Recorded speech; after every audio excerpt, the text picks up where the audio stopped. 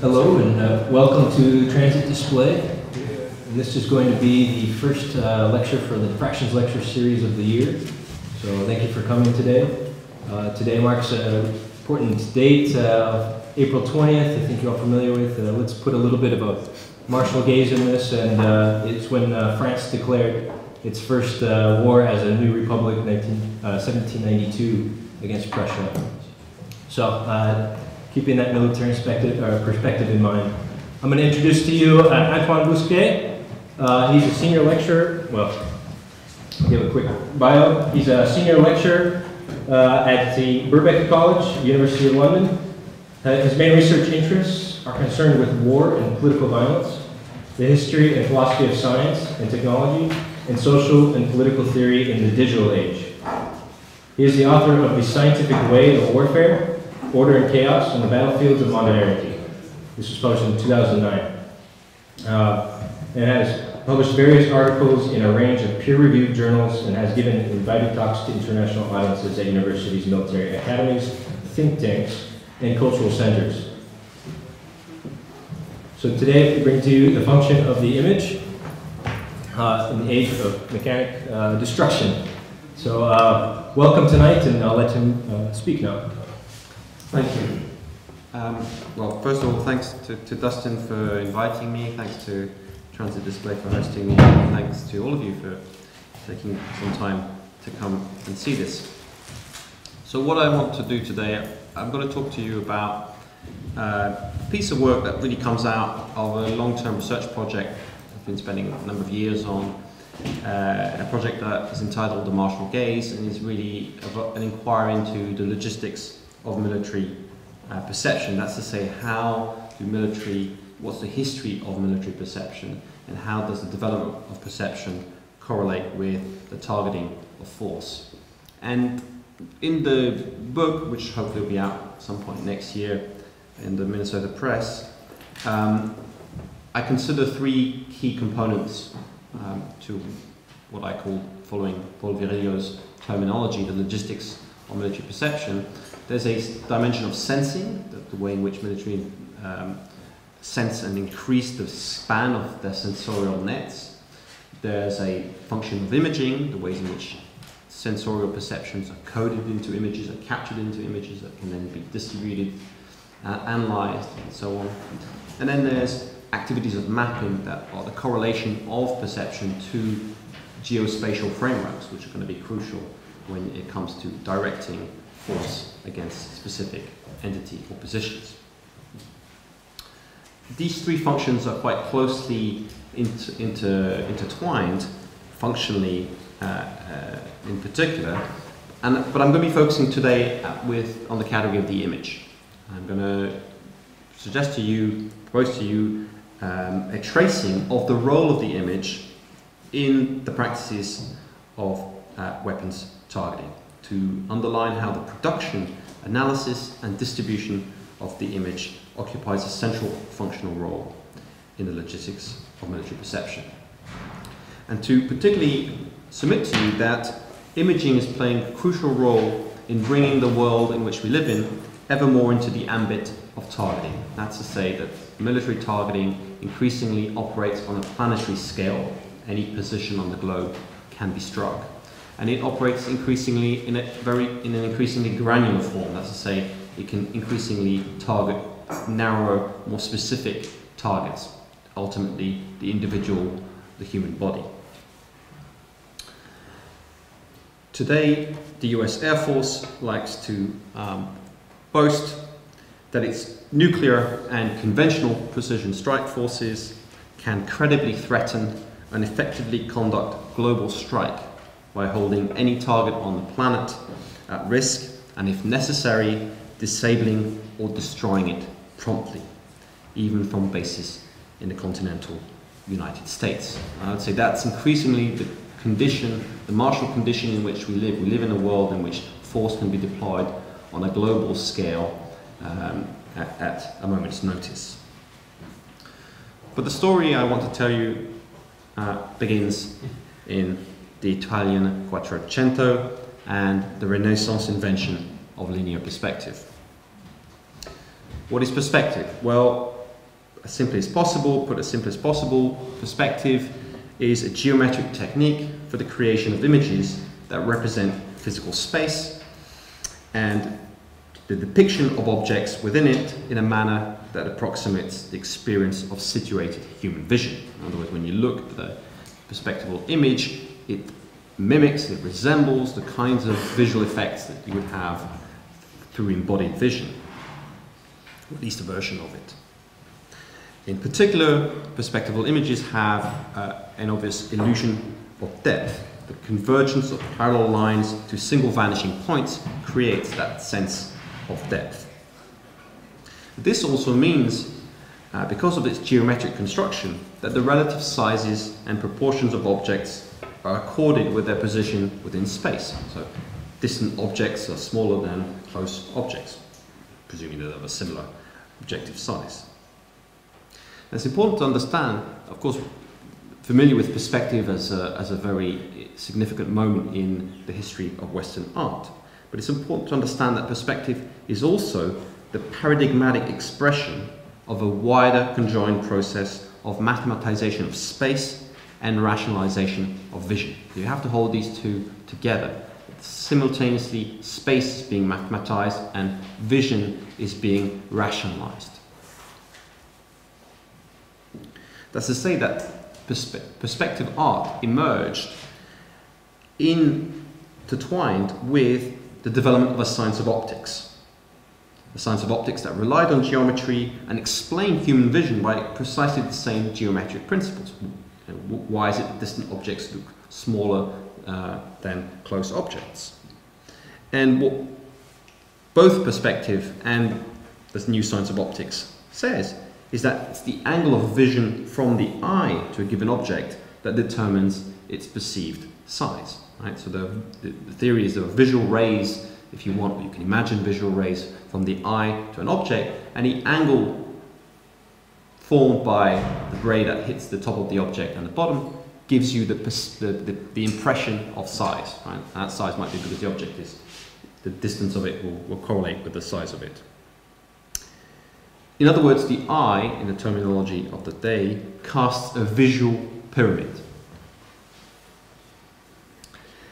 Now, the same principles underlie the technique of surveying, used for the determination of terrestrial positions and distances. Right? So, if you want to survey the land, if you want to find out uh, how far an object is, what size it is, if you want to produce maps that are going to be uh, not simply symbolic maps, but are going to correlate some, in some way or fashion with the actual physical lay of the land, then you use very similar principles. And one of the areas in which uh, surveying came to play a significant role was in early gunnery. So the development of early cannons, early uh, uh, firearms.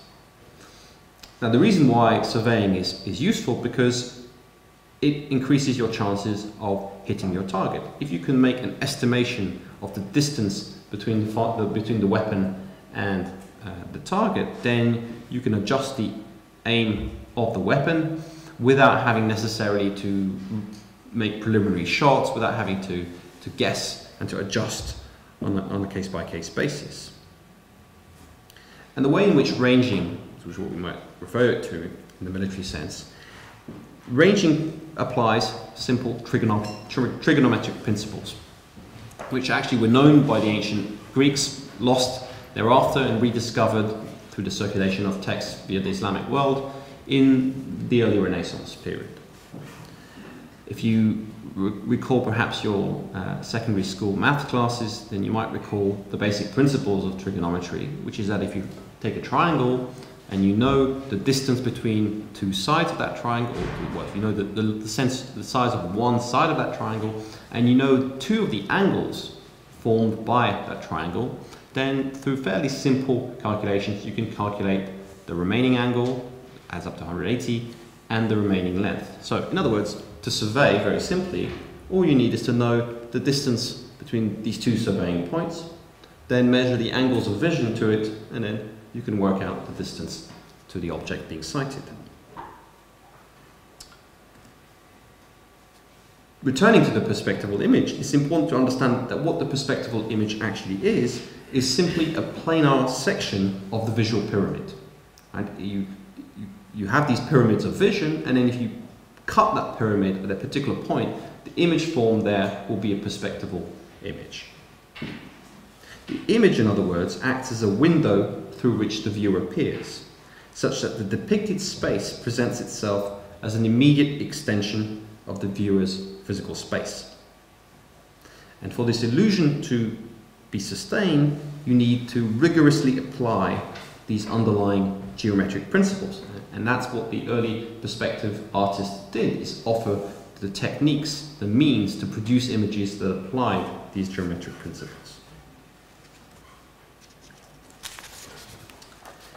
Now crucially, what this means is that there is a single optical, optically correct position from which to view a perspectival image. That image is designed to be seen from a there's only one position that you can view that image that will convey fully the illusion of depth.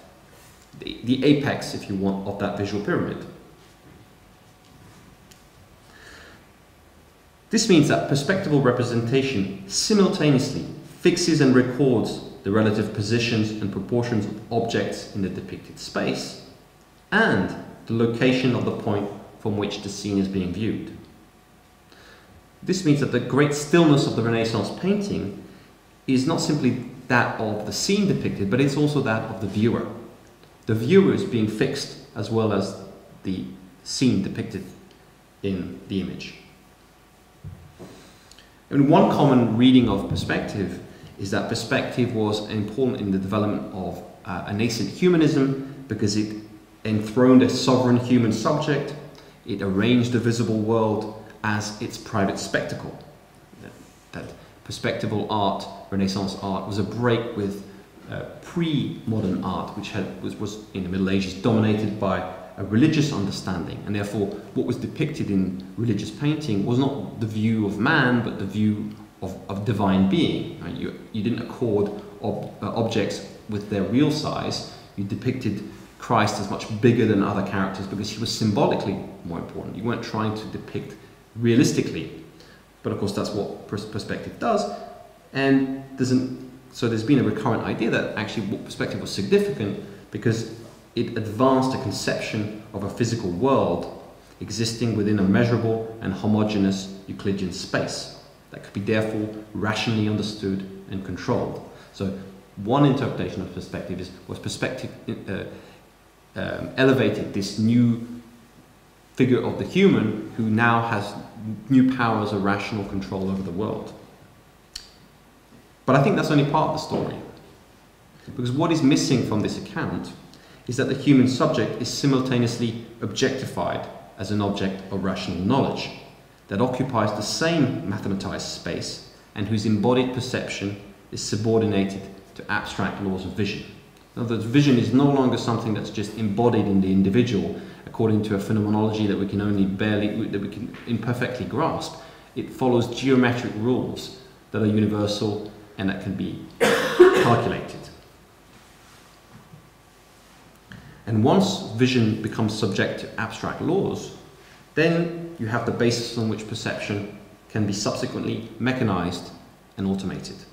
It can be disembedded, if you want, from the, the, the human body.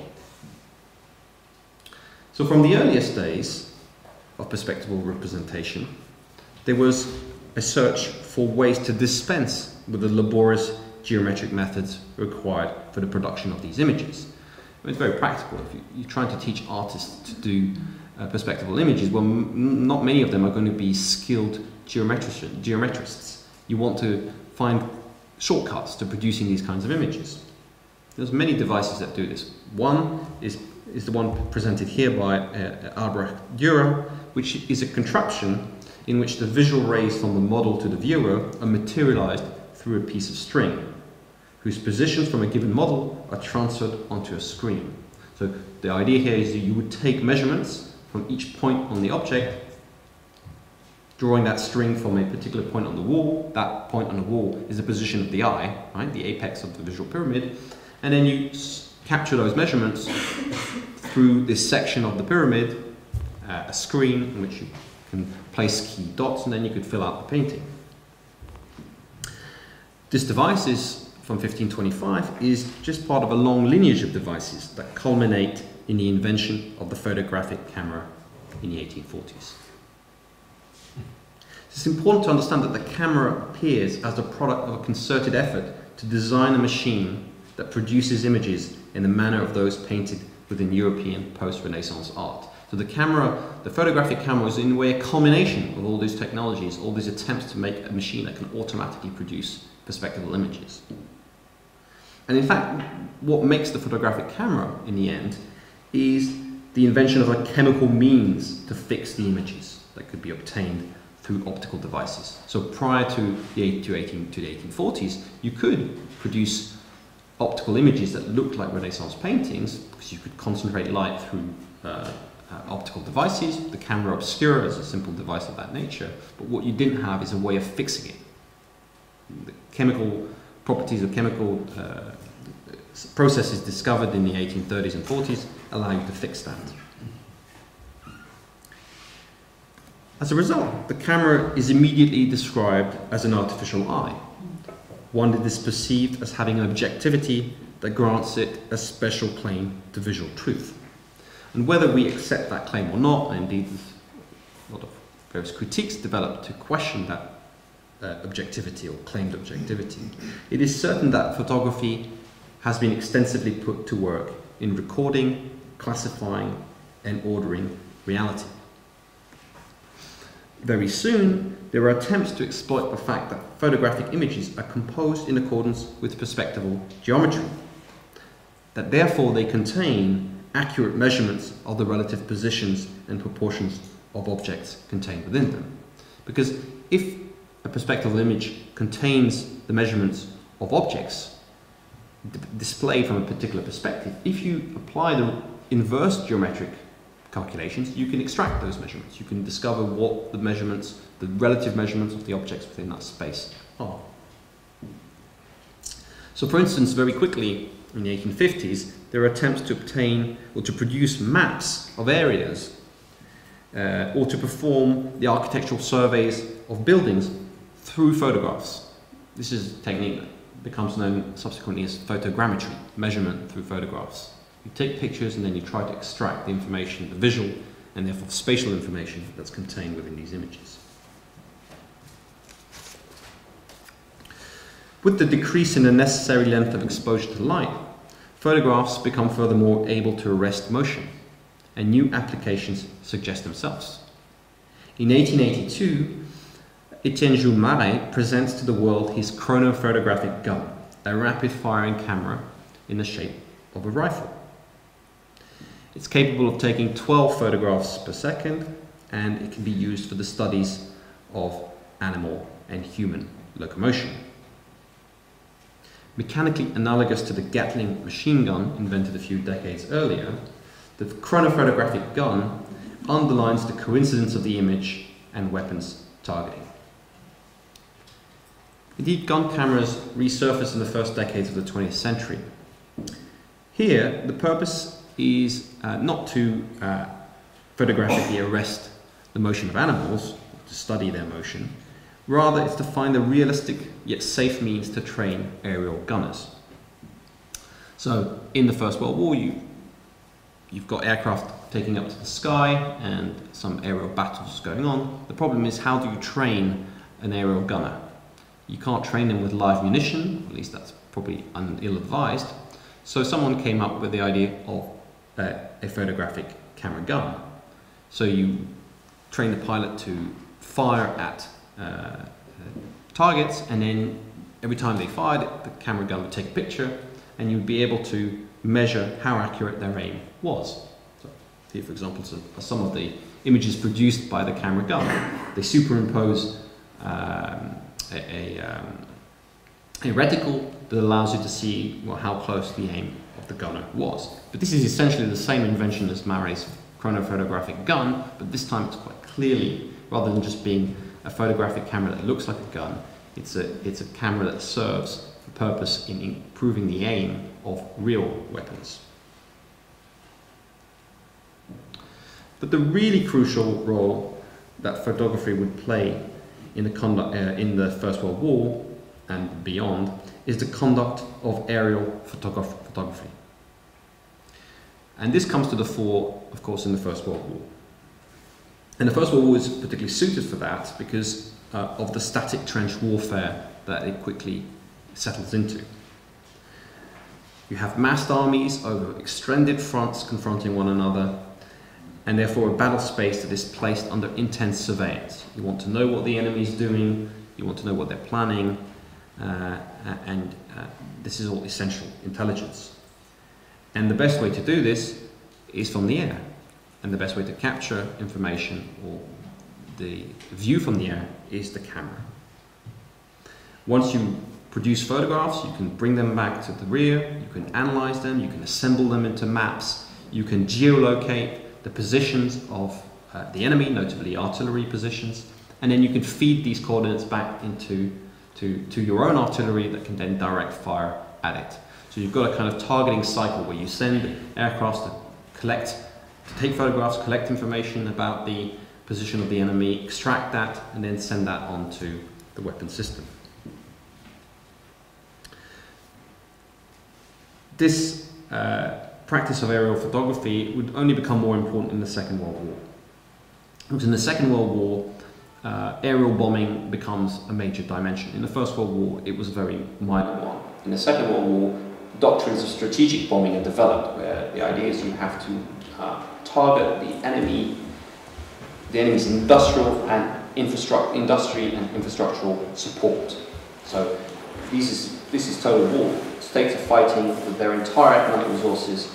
So if you can destroy the economic foundations of that state's uh, military, you can win the war. So photography becomes used to not only map where the enemy's troops are, but to understand the entire economy, the entire logistical infrastructure of that state. Analysts pour over images in order to extract valuable information about the production process, about the logistical chains, and so on, and feed that into the targeting process. Analysts notably uh, make use of the techniques of stereopsis. Um, that's the effect of depth perception you get when you look at two closely overlapping images. Because we're all familiar with 3D, 3D films and 3D effects. Is effectively this is how it works. You have two very close but slightly different images that are shown to a different eye, and that creates a sense of depth perception.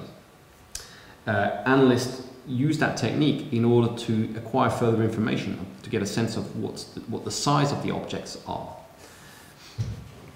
Uh, and that becomes a, a major technique. Now, this intense surveillance from the air leads to a raft of countermeasures to conceal and to disguise valuable sites.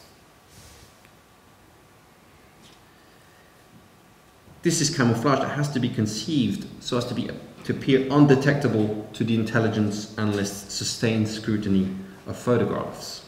So the job of camouflage uh, units becomes to prepare for or to try to fool the camera eye because that's what's ultimately going to be looked at.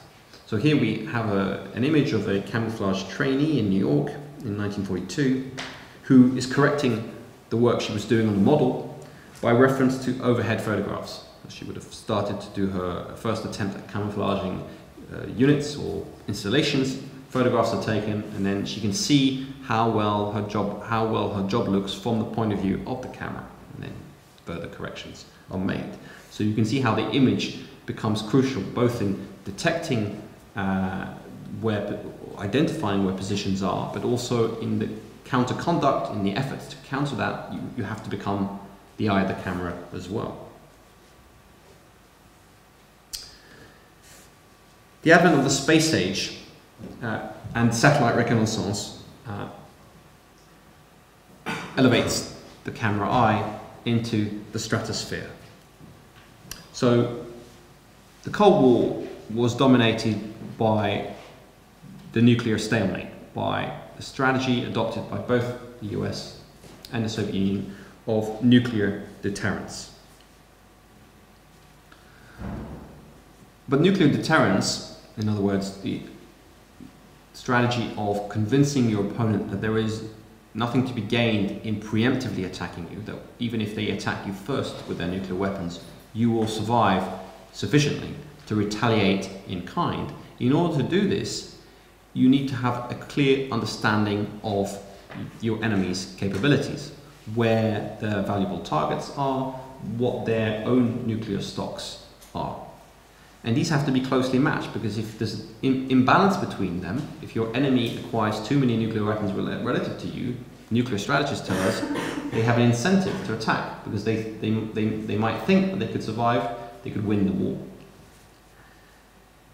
So acquiring intelligence became crucial, and the most effective means to do so in this period was to send cameras in orbit, to send satellites up in the, in, in, in the stratosphere, to orbit the planet, to take photographs that are going to provide you with very detailed images of uh, the enemy's capabilities.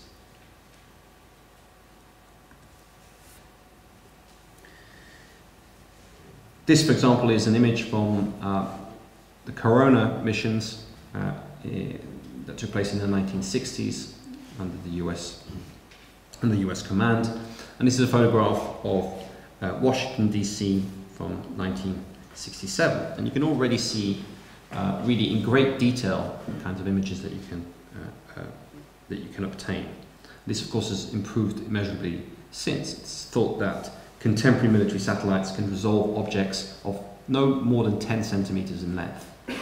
So the, the degree of detail that's obtained is quite formidable. But at the same time as the camera is uh, elevated into uh, orbit, something else fundamental happens to the image in the second half of the 20th century with the move to digital electronic imaging. This is critical because it denotes a profound and highly consequential shift in the underlying material ontology of the image. To say what the image, how the image is actually materially produced. Traditional photography consists in the registration of optically focused intensities of light onto photosensitive chemicals. It's a combined optical and chemical process. But electronic image acquisition operates in a quite different way. It involves the transduction of radiant energy into patterns of electric current rendered as statistical ensembles of discrete numerical values. This means that the electronic image is first and foremost a mathematical entity. It's a set of numbers before it is a visual one. So a digital image is really nothing more than a statistical set that can then be presented in any form, any number of visualizations. It's quite fundamentally different from the chemical process of traditional photography.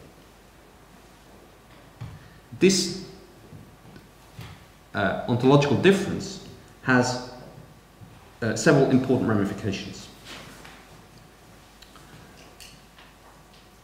Perhaps most important of all is that the digital image is far more amenable to manipulation and treatment via algorithmic procedures. That's not to say that analog photographs couldn't be submitted to algorithms, but digital images obviously much more easily processed in that way. And one of the consequences of that is the development of autonomous machine vision. Autonomous or machine vision operates through the algorithmic processing of imagery for the automatic extraction of numerical and symbolic information. So a digital image is composed of any number of pixels. Each individual pixel is one piece of information, and you can then process the intensity of these pixels through a variety of algorithms. You look into the image for, for particular features, for particular patterns that might allow a machine to interpret the image, understand what it's seeing, or, have a, or, or, or correlate it with forms and patterns it's already memorized. In the military context, this allows for the identification or the recognition of targets without the need for the human eye. And this, of course, can lead to weapons that can be automatically guided to their target. If a weapon can see for itself, if it doesn't need to be guided by the human eye, it can guide itself. But before guidance could be achieved through machine vision, other solutions uh, had been previously sought. A particularly striking one is World War II's Project Pigeon, also known as organic control.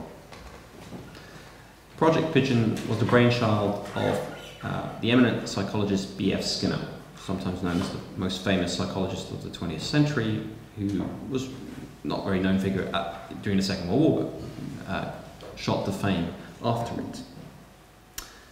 Project Pigeon was Skinner's contribution to the American war effort, and it was conceived as an alternative to kamikaze guidance. This American scientist worked out that well, a very effective guidance weapon, guidance weapon, guided weapon is the kamikaze. Right, you get human fly the weapon all the way to the target. But uh, as one of the post-war reports put it, for reasons of economy as much as uh, uh, uh humanitarianism, a different option was uh, sought, and Skinner offered his own. Let me show you a quick video of uh, some of the work done on the Project Pigeon.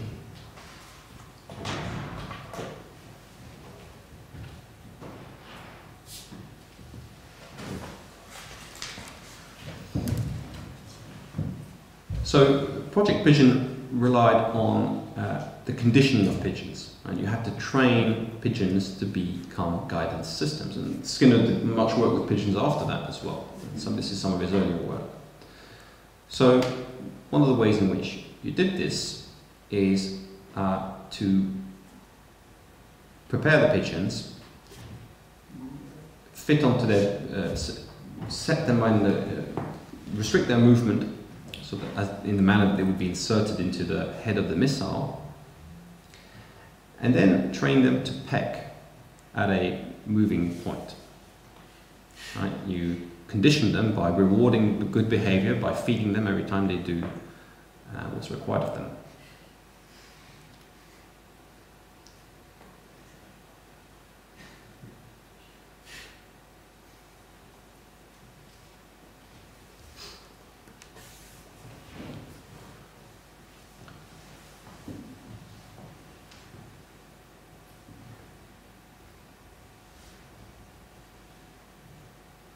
What we saw earlier on was the pigeon being fitted with, his beak being fitted with a kind of metal cover that would act as a contact, so it would, uh, a signal would be sent, could be sent from the contact of the beak with um, a metal plate, for example. So it would act as a kind of control signal in order to uh, feed uh, information to uh, the, the propulsion or the navigation system of the missile.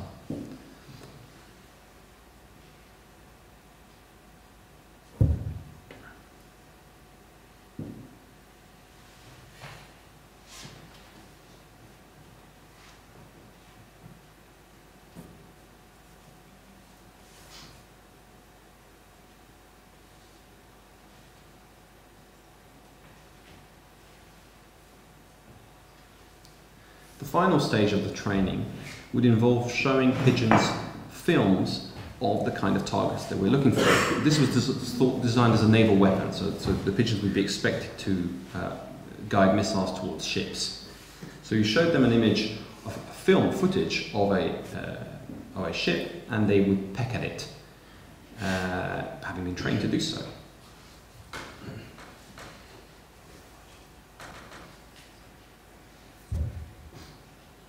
So here the, the image becomes the means by which you train the organism to perform a set of operations that will act as a guidance system. The head itself of uh, the missile would work like a camera obscura. It would focus optical light and on a screen that would be placed in front of the pigeon. The pigeon would peck the screen and the camera would adjust. Oops, I need to find the slide again. And the pigeon would adjust uh, or the, the pecking would issue con command controls to the corresponding command controls to the missile.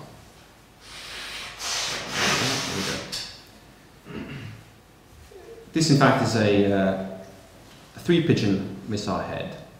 Uh, you would put three pigeons in there. The idea being that if you had three pigeons, they could democratically decide uh, what the instruction was, so you could uh, avoid aberrant pecking from a, from a rogue pigeon if you had three of them. Now, in the end, Project Pigeon didn't ever see any deployment, uh, but Skinner claims that this wasn't because the technology wasn't working, but because he had, in the end, a lot of trouble convincing uh, the military superior, uh, hierarchy that it wasn't a crackpot idea. But the military took this idea seriously enough that they revived it in the post-war period, um, uh, and only abandoned it when, by then, other techniques of guidance, radar, infrared, clearly superior to any organic system, and so the project ended there. This post-war period is indeed one in which a whole raft of guidance systems become developed. Here we have another one uh, which makes use of live radar returns. This is a, a, an early patent. Uh, the way in which this works is effectively by setting up in the guidance system pre-existing footage of the, the, the, land that would be flown over. So you, the preliminary of that was you have to you would send a reconnaissance flight, you would take images or film of the ground, you would store that into the warhead, and then you would correlate live, ra live radar uh, returns with the video footage. You bring those two images together, then the missile has some idea whether it's on the right track or not. This is a very early kind of primitive uh, system, but it's, it's neat because you can quite, quite easily see the mechanism uh, operating. But ultimately, uh, a descendant of that technology is one of the guidance technologies behind the Tomahawk cruise missile. We've heard about Tomahawks very recently uh, when the US sent about 50 of them into Syria. And the Tomahawk is arguably one of the most sophisticated weapon systems in the world. Unit cost of, of one of them is in the area of $1.5 million. So the US did basically send $75 million in, into uh, a Syrian, Syrian airfield. In its terminal phase, the Tomahawk is really a quite complex weapon system that uses a combination of GPS and other radar technologies. But in its terminal phase, the Tomahawk compares recorded images of the terrain obtained prior reconnaissance with live optical imagery obtained through its onboard optical sensor. So effectively, the Tomahawk does see. Right? It's looking for a target that it's been uh, previously provided with, and it seeks to recognize it and to guide itself. And as a result, the Tomahawk is a, remarkably accurate weapon it, that can strike its target within the margin of error of a few meters. But the Tomahawk is only useful against previously identified targets. Right? The Tomahawk has to recognize the target. The target has to be previously recorded, identified, stored in the Tomahawk's guided missile system. The Tomahawk cannot independently choose a target. That, in a way, is the new or the, the, the goal that current military technology is striving for. And discussion around the possibility of such technology is what has fueled a big debate around what's called lethal autonomous weapons. The idea that you could have drones, uh, unmanned aerial vehicles, or other weapons that could, on their own, autonomously identify or determine that an entity is a target and make the decision to attack it independently. There's quite considerable technological obstacles to that, but it's quite clear that the technology is inching progressively towards it. And what you could you could make those type could make a machine that does that. Uh, it's just that the military at this point is probably not sufficiently confident in that technology that they would want to deploy it for now, anyway. Uh, other than in extremely constrained settings. So there are some anti anti missile systems that can operate, for example, in the Korean area, in, in South Korea, there are defensive systems uh, that are capable of operating autonomously. Uh, but, but, they're looking for very specific target signatures, but they could operate without any human oversight. Similarly in Israel as well. But this emergence of machine vision that I've been talking about is, is, is a very important facet of the digitalization of imaging, but it's only one facet. Because if the digital image is nothing uh, but a statistical ensemble of numerical values, the correlate of that, it is, becomes very easy to create and continuously update any image. So computer graphics are possible, live computer graphics are possible precisely because of this digital character of the image. If the digital image is nothing but a set of numbers, or you can just enter new numbers and you've got a new image. Right? So you can create live perspectival images. Most 3D graphic games effectively are live processing of perspectival images that are done on the fly.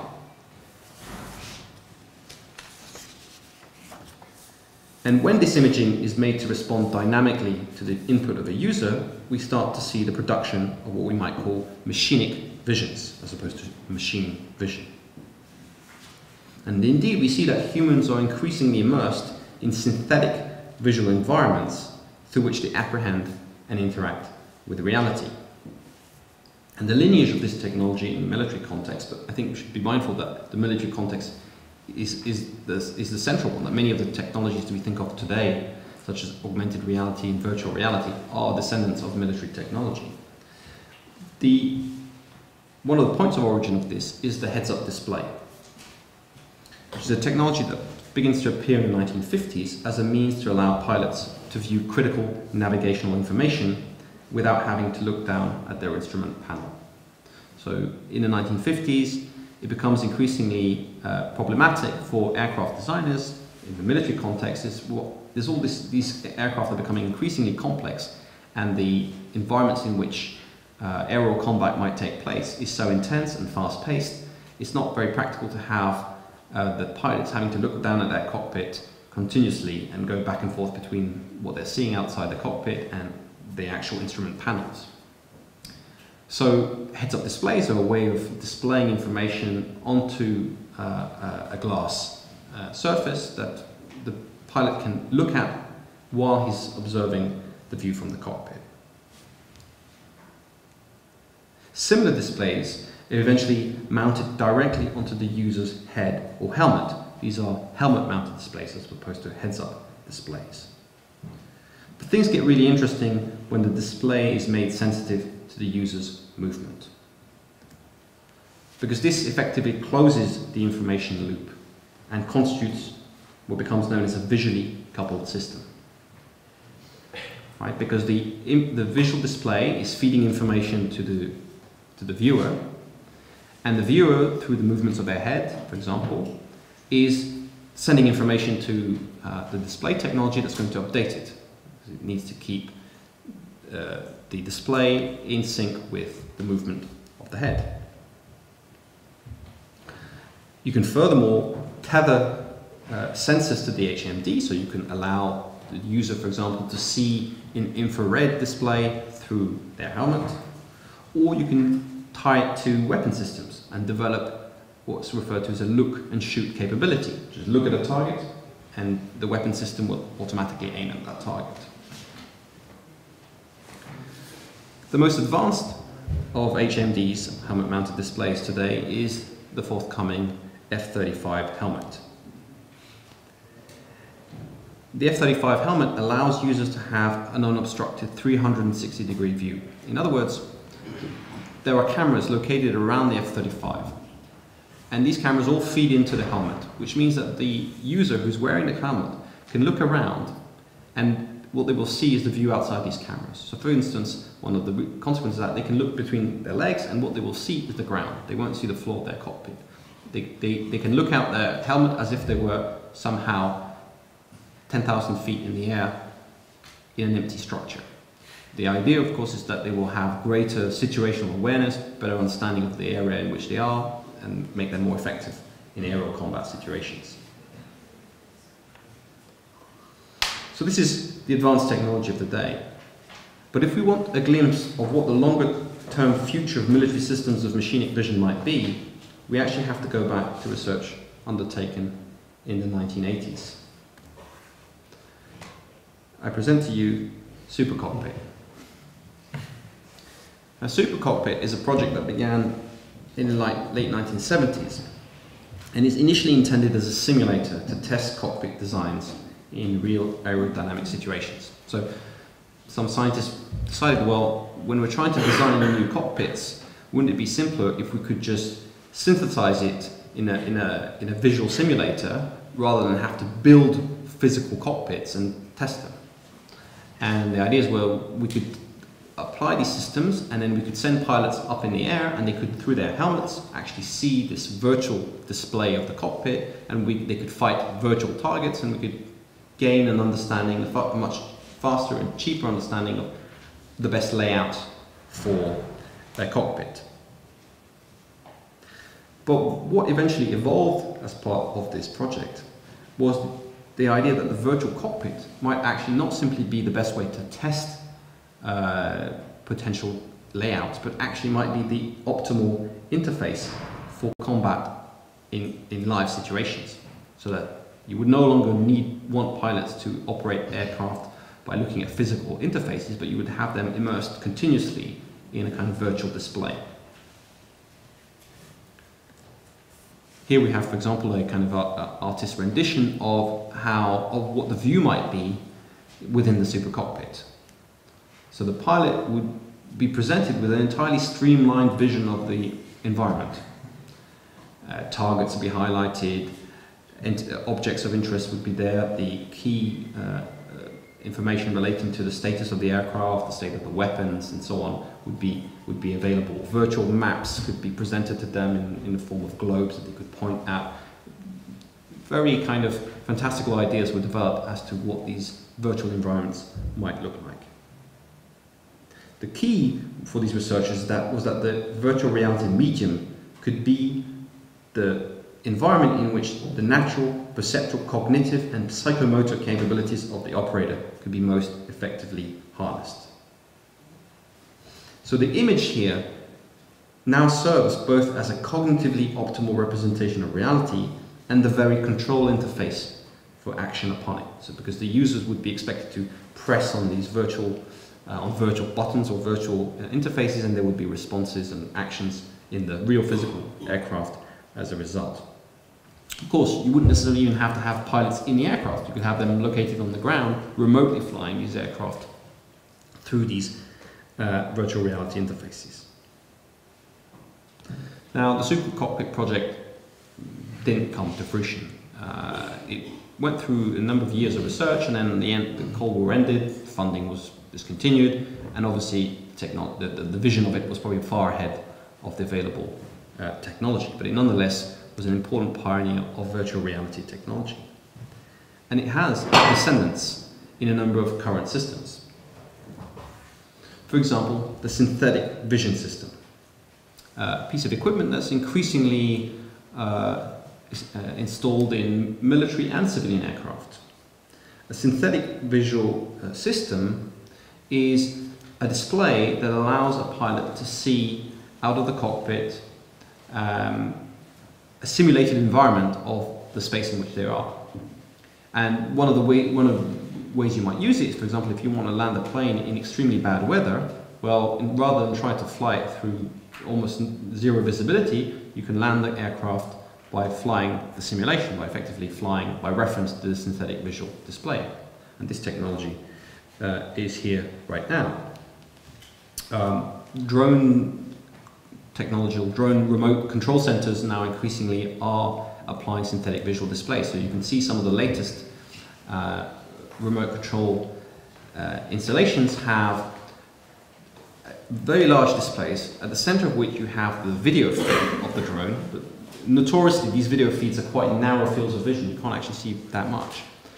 And around that, you've got a synthetic environment so that the, the uh, virtual reality effectively reproduces everything that the pilot would see if they, if they had you know, a very large cockpit to look at rather than a small uh, video feed.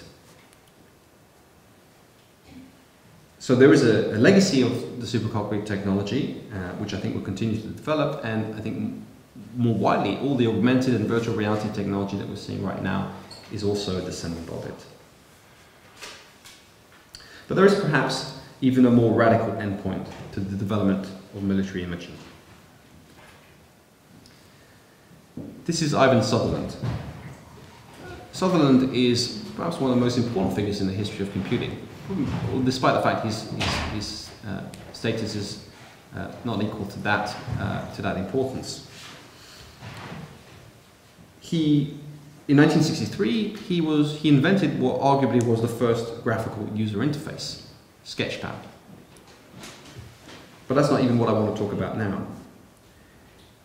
He was notably the head of DARPA's Information Processing Techniques Office between 1963 and 1965. DARPA, in case anyone doesn't know, is the Defense Advanced Research Project Agency, the R&D arm of the US military, uh, notably responsible for the internet and lots of other technologies. And a few years after his work at DARPA, uh, Sutherland developed the first virtual and augmented reality head-mounted display, which he's wearing in this photograph. It was called the Sword of Damocles.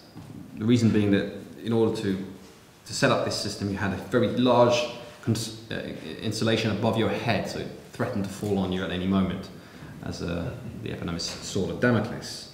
And it was a very primitive uh, system, could only show very basic wireframe, wireframe images, but it was effectively a virtual reality system. You could see basic geometric cubes, and if you moved your head, the image changed. It basically established the principles of subsequent systems.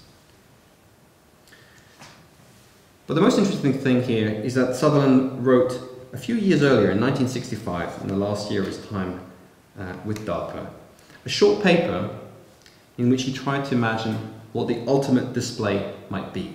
So he, he was conceptualizing what is, a, what is display technology and what is the ultimate display. And he speculated that the ultimate display would have to be some form of kinesthetic display capable of stimulating all the human senses. So the ultimate display wouldn't just be a visual display, it would be an auditory display, it would be a sensorial display, it would be able to simulate or to, to provide a representation of every single sense. Such a display, he says, would allow users to experience all sorts of fantastical objects uh, summoned by the controlling computer. So he, for example, imagined that users might be able to experience a round triangle or negative mass. But his conclusion is a rather more somber and instructive one. The ultimate display, he says, would, of course, be a room within, within which the computer can control the existence of matter a chair displayed in such a room would be good enough to sit in. Handcuffs displayed in such a room would be confining, and a bullet displayed in such a room would be fatal. With the ultimate display, representation and its object become virtually indistinguishable, since they all have the same material efficacy in the world.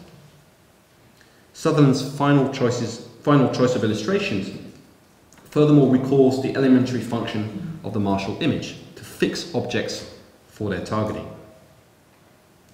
Yet he goes one step further in encompassing the whole process within the single realm of imaging. The handcuffs immobilize and the bullet kills without ever leaving the display. Such that in the wars of the distant future, being caught within the war machine's imaging capability may well signify being already at its absolute mercy. Thank you.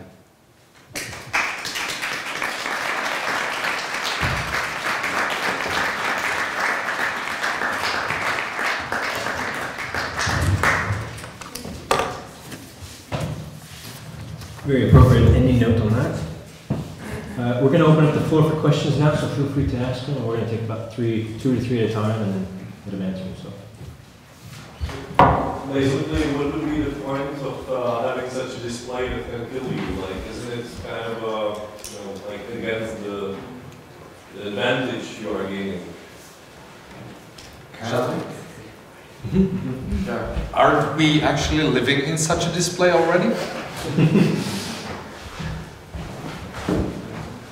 um, not really. I mean, like the operators of the drones are not uh, like they, they are not shocked by electricity when they miss or anything like that. I mean, like.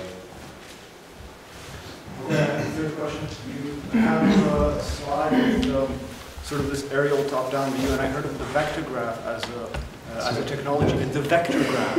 Uh, the vector graph to basically a very sort of um, uh, primitive way of 3D imaging. And I'm just wondering whether that was it in a way. I could never quite imagine it, and I don't know if what you showed was the vector graph. I'm not sure, sorry, you have to clarify. You mean the stereoscopic pictures that the... And that was uh, maybe the, the first third of the presentation when uh, there's a person going basically over like a 3D image uh, top down. And yeah, I, I I know which understand one you mean. it's like a reconnaissance sort of tool. And I heard the same for a vector graph. I thought that the vision of the vector graph was horizontal, but this one is in a way top down. Mm. And I'm just wondering whether I had the my my my uh, my imagination wrong, or whether that's actually the case. Yeah.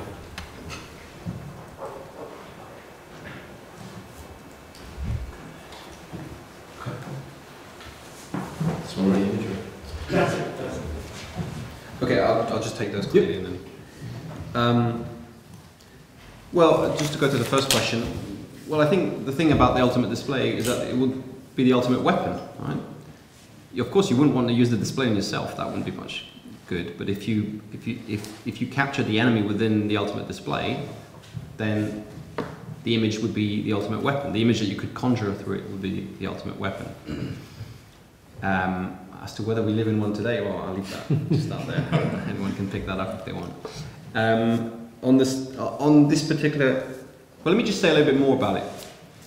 Um, the stereoscope was something that came about actually very early in the history of photography. So, in, probably by the 1860s or 70s, people worked out that if you took pictures from slightly different angles and you put them together, and you, well, you, you put them together and you presented one to each eye, you get a kind of 3D effect. That- That's one we experience when we look at you know, 3D films or and so on.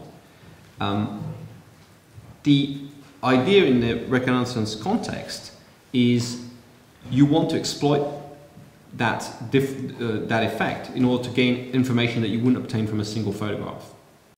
Now, what you actually create with that effect is quite unnatural form of vision in many ways because it's not, this is not replication. So classic stereoscopic tricks were, were, are ones that imitate what, you, what, it would look like as a human, as a, as a as normal human vision, right? You watch a, a, a 3D film, is trying to show you depth perception in a, in a way that imitates normal human vision, which is stereoscopic, right? We have two eyes, they have slightly different angles to what you're looking at, hence you, you get a sense of depth that is, uh, that is heightened compared to a sim- simple perspectival image. But in the case of this stereoscope, what you're actually doing is you're two cameras are taking images that are spread out much further than normal human vision. What the image that you then experience when you look through a stereoscope, these particular stereoscopes, is not what you would see from the aircraft. It's what you would see if you were a giant overlooking the Earth, right? Because you, the, the distance of the two images would equivalent to having you know eyes at several meters apart, and that allows you from the distance at which these photographs are taken to see uh, the height of objects that you wouldn't otherwise see. And that was a useful way of working out, you know, what, what you were seeing to, to see is this, a, is this a building, is this, and how high that building might be, and that provided with further information. I don't know whether that answers your question. I'm not sure what a vector, what a vectorgram is, so. Just a very quick follow-up. Have you, of course, with your extreme expertise in the field, have you heard of this actually being applied vertically in the sense that, like, uh, it wasn't top-down, but it was in some way uh, an imposition or superposition of two images, which would happen on a horizontal plane? Oh, horizontally, excuse me. Well, I, I talked about photogrammetry, right, which is uh, the use of um, uh, photographs to take measurements. And there are different techniques. Some techniques are you take a single image and you just do the reverse kind of perspectival geometry. But actually, that's quite an imperfect technique. There, there are ambiguities in an image that make it difficult. Another way is by using several images. And effectively, you are doing something similar to this. You're using stereoscopy basically to, to to calculate the distance of objects and so on. So, so certain computer vision has got a whole raft of different techniques, but some of the techniques effectively are stereoscopic. So yeah, that's one of the areas of application. Okay. Then you mentioned the, the, uh, the way how the machines are directed by the, by the human vision. On the end, the machines are uh, getting very, or they need very abstract form of information. This, it was seen on the display of the tanks. So Mhm. there's a lot of different abstract data they can use for targeting. Mhm. But uh, your lecture was pretty much focused on the realistic display of the, of the situation, which to the question if you would consider uh, other forms of display, which perhaps uh, doesn't need to be uh, for women exactly? Because, uh, and uh, the, the other question would be why we actually need that kind of display, because uh, there's no need to see how the space looks like, because you only need the data.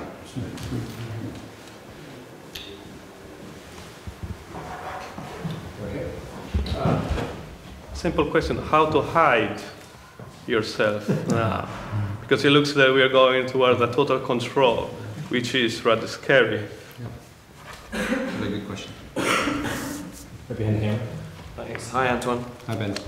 Um, just watching your uh, image on the camera screen here and watching the automatic focus track you around, Yeah.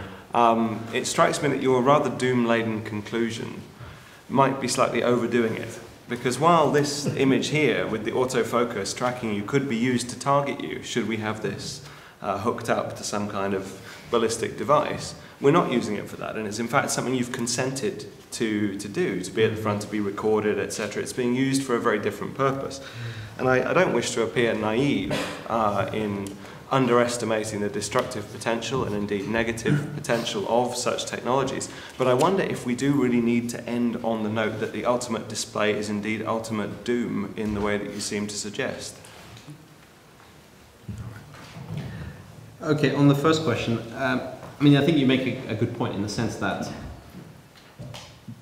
all the displays, all the presentations of visual information that I've shown you, for example, are all designed for humans. The fact of the matter is that machine visions or machines that see, they don't see images in that sense. I mean, they don't. They they see data, right? I, as I indicated, electronic imaging is is is is basically numbers, and the machines don't need to ever leave the realm of numbers. They, that's the whole modus operandi is via is via these numbers. So this, for example, is purely for our benefit. It's to understand how what the machine, which these are. This is a visualization to help us understand what the software, what the algorithm is doing in recognizing a tank. But the uh, the machine itself is never really leaving the realm of a statistical ensemble. It's, the imaging is produced through capture through, through it's translated is immediately captured as, as numbers and it's processed as such. Um, so visualization is still is ultimately something that's left for, for, for, humans, and some of it might be more or less abstract. But if it's abstract, it's, it's generally abstracted because the idea is that it will be easier for us to process, right? That, that you the super cockpit vision, which is a kind of almost cartoonish vision of what the, the uh, landscape might be or what the operational environment might be, we premise on the idea that this is the key information that the user needs to access. They don't need all the extra realistic visualization that doesn't feed into the task of you know, piloting, targeting, and so on and so on. Um, but I, what, I'm, what, what I wanted to underline is important is that in the move towards electronic images, you've got both machines that see, but also humans that are inserted into new visual environments. That both these things are happening at the same time. So it's not simply that the machines are learning to see and we're kind of being locked out of that and you know, the, the machines will do everything, will see everything in the future. Maybe there's a distant future where that might be the case, but for, for now, for the foreseeable future, it's much more that we're in an increasingly intimate relationship with the machines that see in their own ways, or, or not, as I said, and, and who present us information as well in ways that, is, that we acquire, that we process visually. Hiding. Okay, that's a, that's a very important question, and I'm glad you asked it because I have a chapter on hiding. So I have thought about this thing a little bit. But and you're right. Of course, there's that, that uh, the account I've presented to you is one of is of increasing visibility and vulnerability. But there are, of course, uh, you know, if you think about the development of uh, military perception, there's continuously been an attempt to counter it. I mean, the technologies of military perception really accelerate in the first in the early 20th century in the First World War, and of course that's when camouflage, modern camouflage, is first developed. So there's a whole set of techniques that have been developed since camouflage, stealth techniques, and so on, which effectively rest on similar kind of bodies of knowledge. What you're trying to do is, if you know how military perception work, then you start to have an understanding how you might fool it. if you know the kind of algorithms that are used to recognize an object, then you can try and turn them against it. So there's a, clearly a kind of you know counter practice that attempts to uh, mislead or distract or fool uh, the the martial uh, gaze. Um, that said, it's you know it's increasingly onerous to do so. If you think about the B-2, uh, the B-2 bomber, uh, which is perhaps the most advanced stealth aircraft in the world, I mean, this is an aircraft that costs a billion dollars. So you're not, you're not going to have many of them. Uh, so, they, so it may be that uh, there are means to counter it te technically, but they are increasingly onerous. However, I think that there is increasingly a countermeasure that is being put in place. And that countermeasure is a kind of form of strategic camouflage, which is to say, rather than trying to, only to try to technically counteract military perception, what you do, what you're seeing is adversaries uh, vanishing from the battle space. And one technique is to basically conceal yourself. You might, well, the terminology I quite use is, is that is that used by Reza Negarestani, hyper camouflage, where basically you conceal yourself within the enemy society, and you attack that society, at, you know, without any warning. And I think that's one of the things that we have to think about, particularly when we are situated in in the kind of parts of the world which are been developing and pushing this kind of military perception, is that the vision behind it that, well, we're going to have this wonderful targeting technology and we can target anyone in the world and, you know, this is a, a recipe for ultimate power. What we're seeing, I think, as a result of it, is actually a dissolution of the battlefield, and we're increasingly seeing war kind of molecularizing uh, and, and resurfacing within our own societies in ways that we might find quite discomforting. So I think that there's a, there is a counter movement, there's a kind of a reaction to that dominance of perception, and one that actually has you know, quite unpalatable effects, I think. So yeah, that would be the beginning of a conversation about, about that. Um, and Ben, um, well, um, let's see.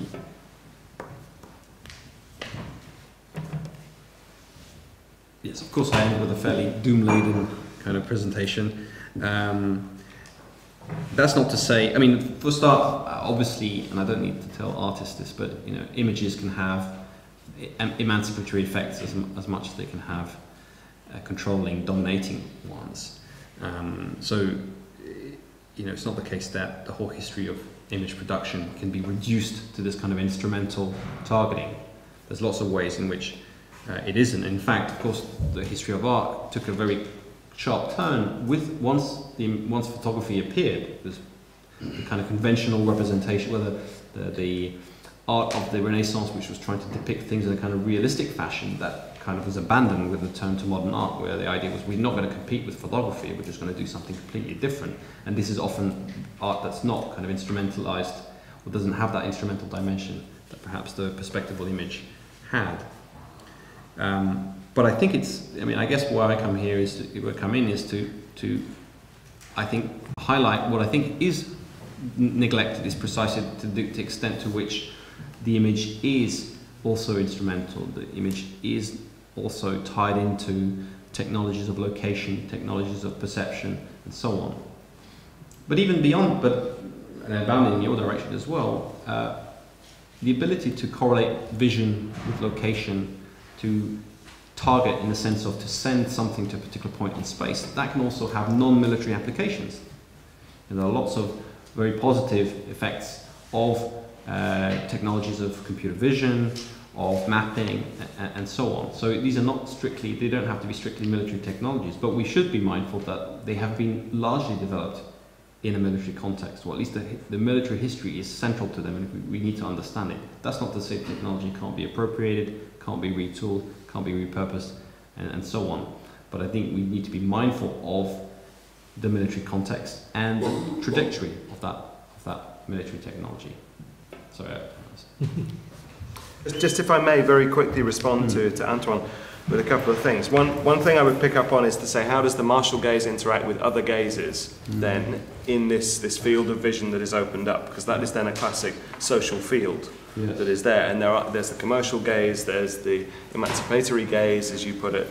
There's, there's these diff- an, an intersection of different uh, relations, social and, and different power relations. And I wonder if we don't still run the risk of over securitizing this technology. We know that other technologies, uh, other technologies have been developed in, for military use that have gone on to have far non-military or far more important non-military applications uh, and so on. So I think there's, there is a danger of overdoing this, and I think the, the key- key point is who consents and how do you consent to be within this gaze?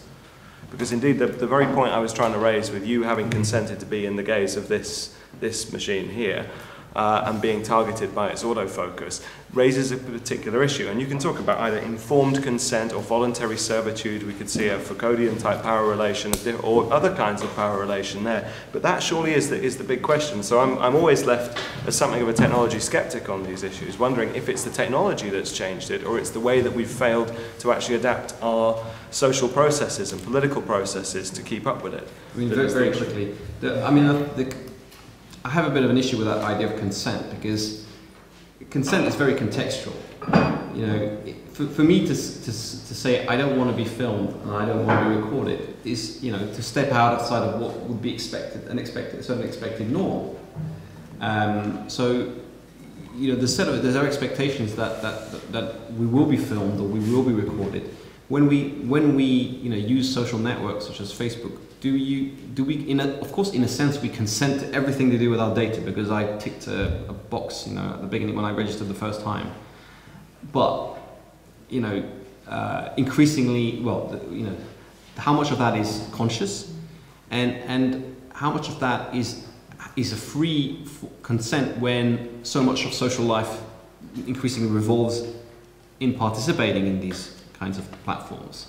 So I think consent is quite is quite a complicated thing. There's not is not uh, is not a simple decision that you make uh, and and an opt in and opt out, and therefore once you've consented, once you you know you, you participate, then you know you have no objection. You can't really raise any objections to it.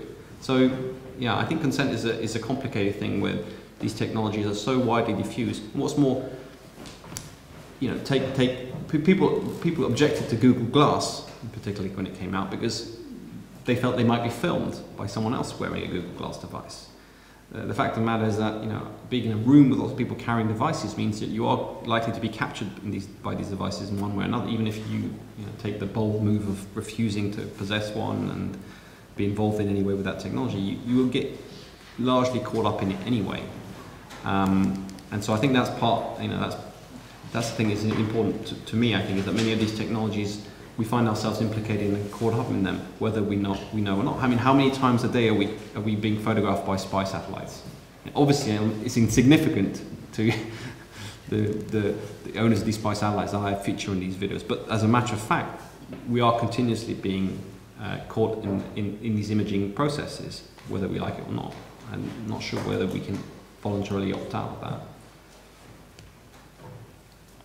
Yeah, by the way, what happened with the Google Glass is I haven't heard of that like for, for how many, for years now. Has that like gone?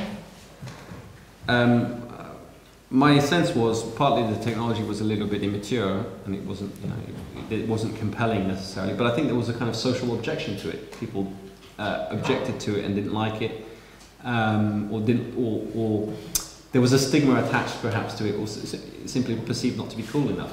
But I think this is just that, that doesn't sound like a plausible um, kind of explanation for it to dis- for it to disappear really. but- not to disappear Yeah. because I think the technology will resurface in some way or, or another, and it may have to. Contact lenses. or- It may exactly. It may have to go through contact lenses or other forms of displays that may be less obvious. The, the, you know, the problem about Google Glass in part was it's a very obvious thing that you're wearing. Mm. Yeah. You know, you taste it, you can judge it, but a lot of people will find it perhaps not very stylish, and so on and so on. But, but the basic idea of the technology, which is really just an, an, an embodiment of the augmented reality and virtual reality technology I was talking about, I think it's a foregone conclusion that it will, it will, it will, it will spread and it will acquire kind of a, a mass usership at some point in the future. I think it also goes to your example of the camera obscura, where uh, with the visual glasses of Google, it was obvious that you had some kind of uh, visualizing uh, perspective. But if you have contact lessons or something more hidden, uh, you can observe and record and not be observed, observing. So it goes back and forth on that. And that might change. I mean, there's a, some speculative fiction where Viz glasses or these Google Glass glasses are used in warfare situations. And I'm thinking of ghost fleets for example. But. Any other questions on that note? Or? Is, uh, any thoughts instead of having this external device, looking to a future where we're actually going to enhance uh, our capabilities by, I don't know, become a little bit more robotic? So instead of having this display outside, it's within ourselves. Well, I mean, I'd argue that's already, you know, that's kind of what I'm, uh, part of what I've been talking about. Anyway, we these technologies are. What's happening is that there's a, we are increas, increasingly in very tight feedback loops with our technologies. You know that we this is the kind of visually visual visual coupled system I was I was talking about in the military context. We are tethered with machines which we to which we feed information through our control interfaces and so on, and they feed information back to us. And whether these systems are embedded in our flesh or whether they're external, functionally they work in the, in the same way. You know, so you can your, your mobile phone works as you know an extension of your cognition, whether you hold it in your hand or whether it's a chip in your brain. It really functionally works in the same way. Whether it enhances us or not, that's a, that's a big debate we can have. I mean, there's lots of ways in which clearly these technologies are, are, are empowering. Um, but they are also controlling. And controlling, you know, controlling doesn't mean that we're just dominated by the technology. It means that feedback cybernetics is about control. We control these systems and they control us, and that's the very nature of these information flows. Where that gets us, I think that's the discussion and the, consideration that we, we have to have. Um, it's certainly not, I mean, there's a military context in which we might want to think about what the ultimate goal of these technologies are. There are other contexts which don't necessarily have to be military. I don't think I don't think because technologies have appeared in the military context that they, they are destined to remain military. Um, but we might want to think what it says about our society is that most of these technologies are being pioneered through military uh, military efforts. It says something about the centrality of war and the military in the world in which we live in kind of goes back to the central idea of the Martial gaze of that, of that point. Mm-hmm. Everything feeds into the war machine on that note. Mm-hmm. Uh, we'll take a last round of questions. Anything around there? Okay. Dustin? Okay, so I'm gonna fumble with the question. Um, but I would be interested because you were, I mean, in your essay about the lethal weapon, you were discussing about uh, kind of the laser, the laser turret, the 360 laser turret, and I also somewhat surmised that this was kind of a terminal point in terms of vision, if, if, if I may. Uh, but I would be interested if you could perhaps elaborate on that. So th this is a uh, yeah this is a, an aspect of the, the, the book that I that's contained in an article that's forthcoming, which was thinking about the the this relationship between perception and targeting in terms of of sensorial development. And in a sense, the, the end point of that is the development of the laser. Because the laser technology is, both, is, is, happens to be a technology that's a sensorial technology in the way in which optics, radar, infrared are, is. You can use lasers to make distance measurements, for example. You can make maps using laser. But laser is also weaponizable. Right? You can make laser beams that will uh, you know, set fire to things or blow holes through things.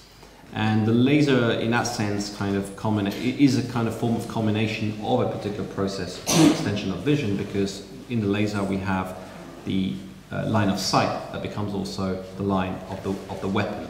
And most technology take the sight and feed that into the line of the weapon. But with laser you've got the kind of convergence, the coincidence, in fact, of the, of the weapon and the vision. So, so laser is also one form of combination uh, of, uh, uh, of, of, the, of the Martial gaze. That answer your question? Does that answer your question? Yes. I didn't know if it was exclusive enough. I, I think it's awfully interesting looking at it from a perspective also from cybersecurity Mm-hmm. uh, and how we've infused uh, this nexus into how we terminal or put terminals to this. Uh, for example, taking an image of a disk uh, is just a hash, uh, a bunch of numbers and, and letters. So it's interesting how we utilize that. Uh, and we're feeding into this terminology uh, that ends with this Martial gaze. Very interesting concept. Um, well, we're going to close up with that. Uh, that kind of closes up also uh, his book title, Martial Gaze, will be coming out soon, uh, published there. Uh, if you guys want to come back to this lecture as well through video, uh, we have a recording on there. You can check on the diffractionscollective.org new uh, website. Uh, we also have a blog line going up there, so if you're interested in contributing um, and participating on there, go for it. Um, if there's any other questions for Antoine, you can conclude with them after uh, the presentation. So uh, thank you for coming and thank you for making it.